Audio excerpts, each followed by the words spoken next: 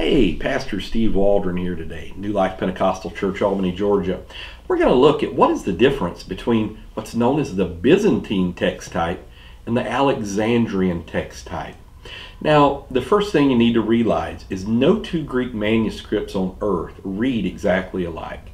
Now, there is something that the overwhelming majority of text, regardless of language, whether it's Greek or whether it's any of the other several hundred languages that we have ancient manuscripts in, overwhelmingly they read alike. And this would be known as the majority text. Now, of course, von Soden examined about 421 manuscripts, came up with what he called the majority text.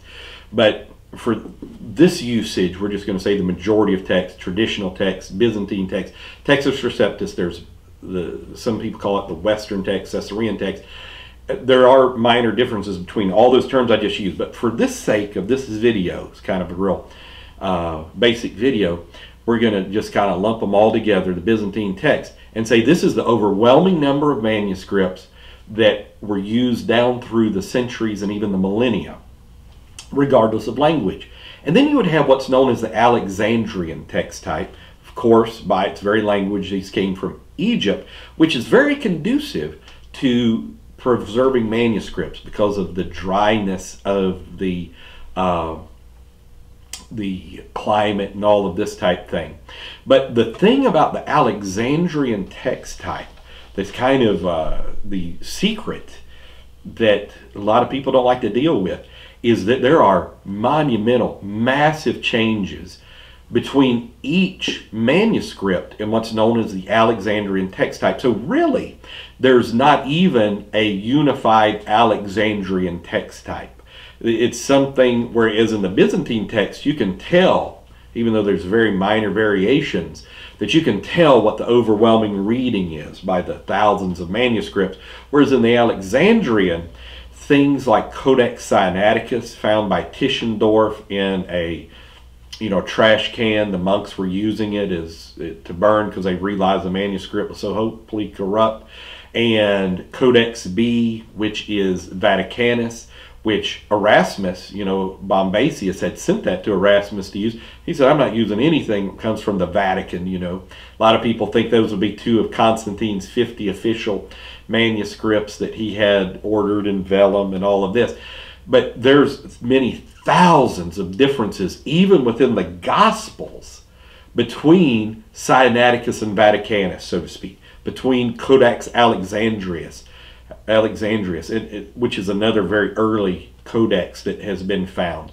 And so there's really no Alexandrian text type. It's something that's a chimera that's been created if you study it. And it's really to go against the traditional text. And it's to sow confusion in this end time hour. And we have to look at it.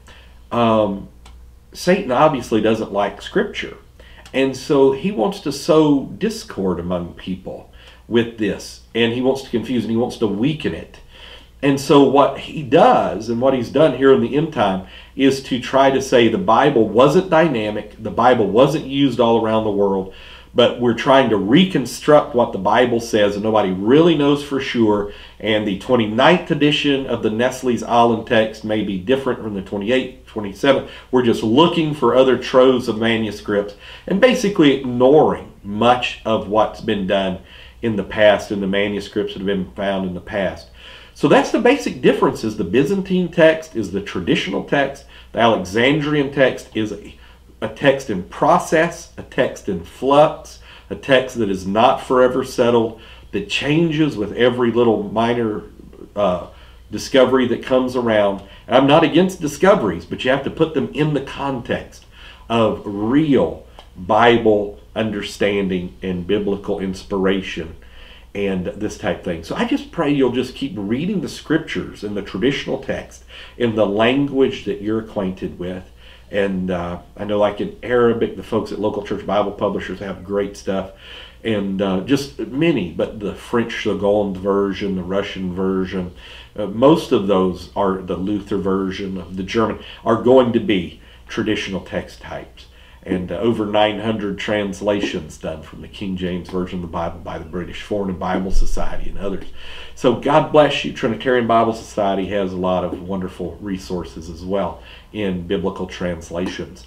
But God bless you. Let's live for God in this end time hour. In Jesus' name.